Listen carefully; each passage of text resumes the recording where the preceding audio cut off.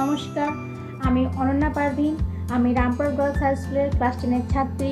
আমার সেক্টর হলো tourism and hospitality আজ আমি রবীন্দ্রনাথের স্মৃতিবিজড়িত শান্তিনিকেতন সম্বন্ধে কিছু বক্তব্য বলার চেষ্টা করছি। মহিষী দেবেন্দ্রনাথ ঠাকুরের স্থাপিত ও কবিগুরু রবীন্দ্রনাথ ঠাকুরের স্মৃতিবিজড়িত একটি শহর, শান্তিনিকেতন। ভুবন ডাকাতে নামানুসারে খ্যাত ভুবন ডাঙা যার আদি নাম। আঠারোশো বাষট্টি সালে দেবেন্দ্রনাথ লালমাটির দেশ থেকে মোহিত হন। এবং রায়পুরের জমিদারের কাছ থেকে কুড়ি বিঘা জমি কেনেন। গড়ে তোলেন ঈশ্বর সাধনা আরাধনার এক উপযুক্ত স্থল। আঠারোশো তেষট্টি সালে তিনি সেখানে একটি আশ্রম তৈরি করেন ও ব্রাহ্ম সমাজের সূত্রপাত ঘটান।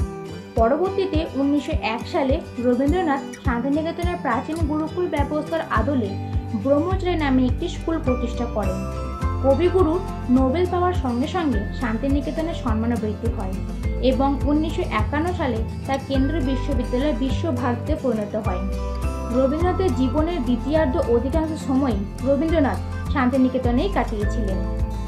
সাহিত্য সৃষ্টিকর্মে তার উপস্থিতি উজ্জ্বল। শান্তিনিকেতন ভবন এখানকার সবচেয়ে পুরনো বাড়ি। উপাসনা গৃহ বা ব্রাহ্মপন্থী যেখানে প্রতি বুধবার সকালে উপাসনা হয়। দেবেন্দ্রনাথের ছাতিমতলা। যা প্রাণের আরাম, মনের আনন্দ ও আত্মার শান্তি জাগিয়ে তোলে। শান্তিনিকেতনের মূল আকর্ষণ উত্তরায়ণ। রবীন্দ্রনাথের বিভিন্ন সময়ের আভাস, এর বাদিকে আছে বিচিত্রা ভবন।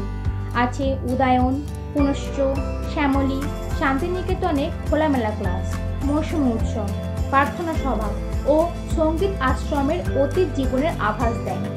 আদি পরিকল্পনা সম্পূর্ণতা হারিয়ে গেলেও শান্তিনিকেতনে আজও রবীন্দ্রনাথের সামগ্রিক মনোভাবের ছাপ গ্রহণ করে এবং শান্তিনিকেতনে সেই মনের আরাম, প্রাণের আনন্দ ও আত্মার শান্তি জাগিয়ে তোলার জন্য আজও আজও এই বর্তমানে প্রচুর মানুষ সেখানে ভ্রমণ করতে যায় এই বলে আমি আমার বক্তব্য শেষ করছি। আর একটা কথা আমি আপনাদেরকে বলার জন্য খুব ব্যাকুল হচ্ছি, সেটা হলো এই বর্তমানে কোভিড নাইন্টিন থেকে আপনারা নিজেরা স্বাস্থ্য সচেতন থাকুন এবং অপরকে রাখার সাহায্য করুন। আপনারা বারে বারে হ্যান্ড ওয়াশ করুন স্যানিটাইজার করুন, বাইরে কোনো কাজে বেরোলেই মুখে পড়ুন মাস্ক একে অপরের সঙ্গে দূরত্ব বজায় রাখুন এবং বাড়িতে থাকার চেষ্টা করুন। কারণ আপনি বাড়িতে থাকলে পরে গোটা দেশ এই যুদ্ধে জয় হবে। Thank you